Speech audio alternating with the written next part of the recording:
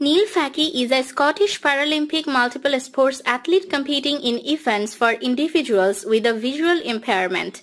He was born on March 12, 1984 in Aberdeen, United Kingdom.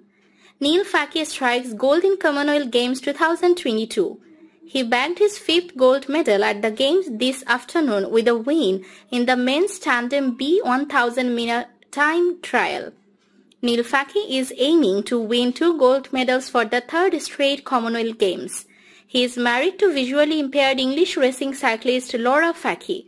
He was appointed Officer of the Order of the British Empire OBE in the 2022 Birthday Honours for Services to Cycling. Fachie, piloted by Matt Rotherham, successfully defended his kilo time trial and sprint B tandem titles at the 2018 Commonwealth Games in the Gold Coast, Australia. In doing so, he equaled the record for the most number of Commonwealth gold medals. He shares the record of four golds with sprinter Alan Wells and lawn bowler Alex Marshall. Fachie teamed up with Pete Mitchell for the 2014 UCI Paracycling Track World Championships in Aguascalientes, Mexico.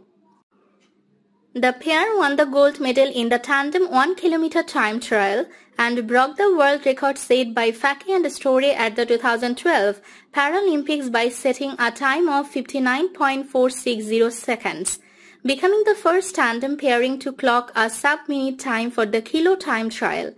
They subsequently won a second gold in the tandem sprint.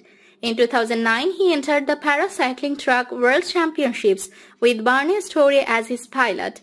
The two took the gold in both the kilo and sprint, setting a new world record in the kilo. In 2011, Fachie traveled to Montichiari, Italy to compete in his second Paracycling Track World Championships. This time paired with Craig MacLean, he again achieved gold in both the kilo and sprint, setting a new world record in the sprint.